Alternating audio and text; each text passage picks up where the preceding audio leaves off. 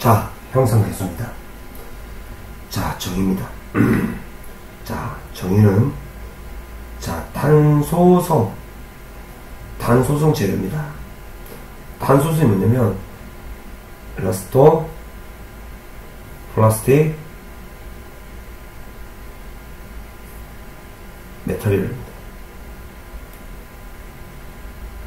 로 구성된 보에서 항목 모멘트에 대한 소성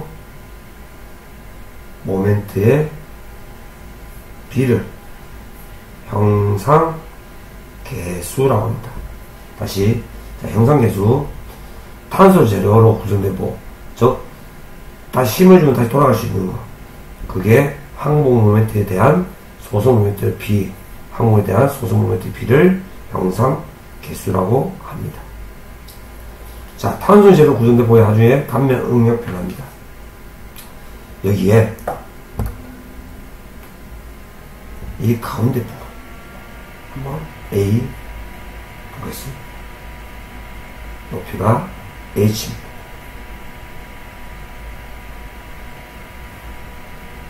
처음에 M MY 즉 M은 외력에 의한 단면의 힘 모멘트입니다. MY는 항복 모멘트입니다. MP는 소성 모멘트입니다.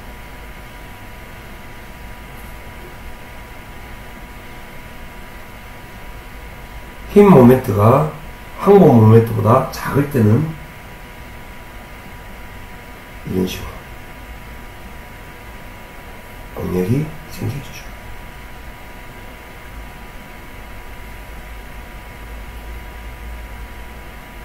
항복 모멘트가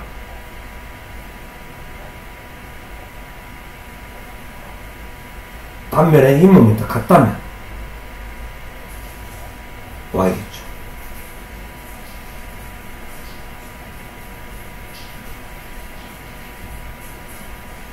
만약에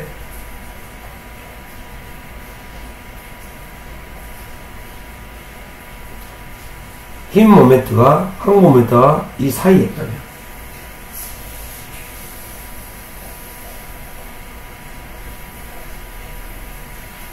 마이너스 y y가 되겠죠. 점점 직사각형으로 가고 있죠.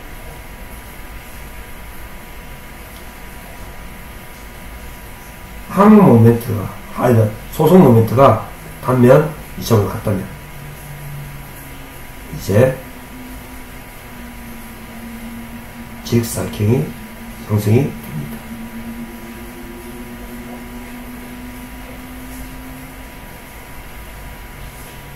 보의 하중적인 단면의 응력 변화입니다.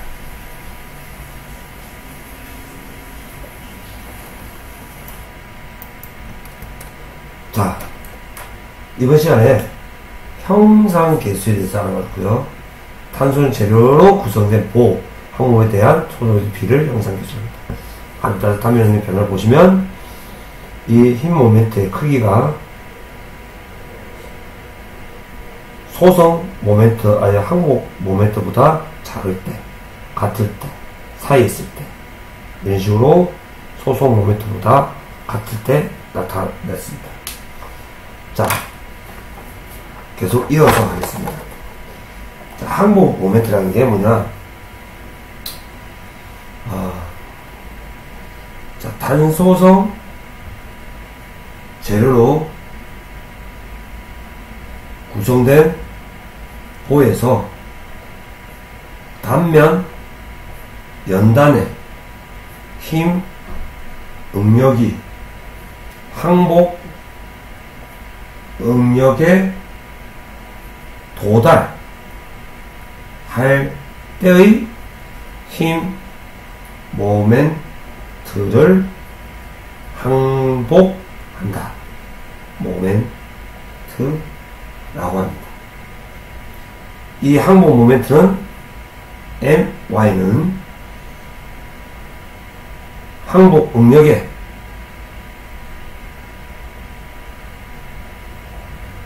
단면 개수를 겁니다. 따라서 동일한 재료로 구성된 직사각형 항목부터 M, Y는 Y, Z죠. Y는 6분의 B 곱하기 H죠. 여기서 6분의 BH는 Z는 6분의 BH 제곱은 직 사각형 단면의 단면 개수입니다. 또는 M, Y는 C, D, T, D입니다. 자,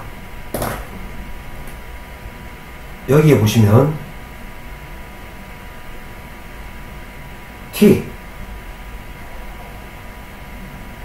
C가 있고요. T가 있습니다. 아, C. T. 중임축에서 위아래. 삼각형이니까 3분의 H, 3분의 H. D. C는 4분의 Y, BH. 파워는 4분의 Y, BH. 따라서 4분의 Y, BH. D는 3분의 2H입니다. 따라서 6분의 Y, 맞죠? BH 제곱이 형성이 됩니 자, 지금 항복 모멘트에 대해서 설명을 했고요.